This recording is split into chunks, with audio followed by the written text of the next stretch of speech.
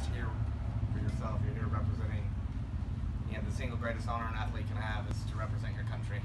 And um, my young rider days, I didn't know if I was ever going to get to do that again. And it's it's an honor to represent your country, to represent your area, and everything you do is a result of you are representing something else now. It's not just about you. And so um, I'm trying to to stress that and um, so that we really put our, our game faces on and focus on each phase in producing our, our our best results that we can produce on that day with the horse